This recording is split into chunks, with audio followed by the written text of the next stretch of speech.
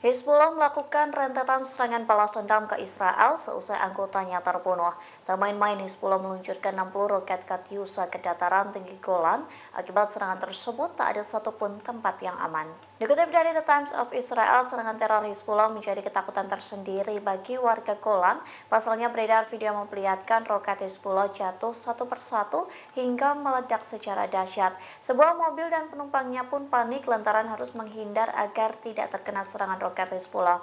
Dari video itu terlihat beberapa penumpang bis turun dan mencari tempat perlindungan. Beruntungnya penumpang bis tersebut tidak mengalami luka serius meskipun roket Hezbollah menghantam. Dilaporkan serangan tersebut belum pernah terjadi sebelumnya. Adapun serangan itu dipicu kemarahan Hezbollah seusai komandan seniornya Hasan Hussein Salami tewas. Salami tewas diserang Israel saat berada di Lebanon Selatan.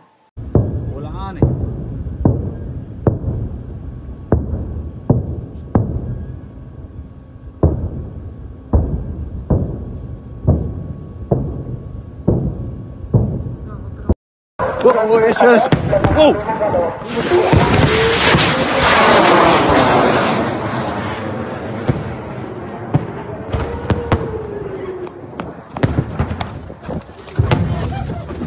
עצור, עצור.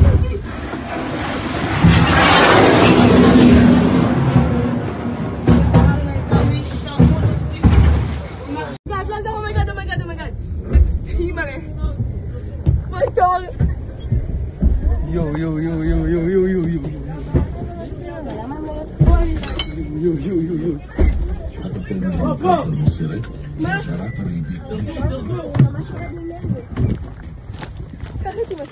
עולה בראש, עולה בראש באמא שלי. מה עושים? אמא, אמא, אני אדבר איתך, אבל הכל טוב, אמא. Download Tribun X sekarang. Menghadirkan lokal menjadi Indonesia.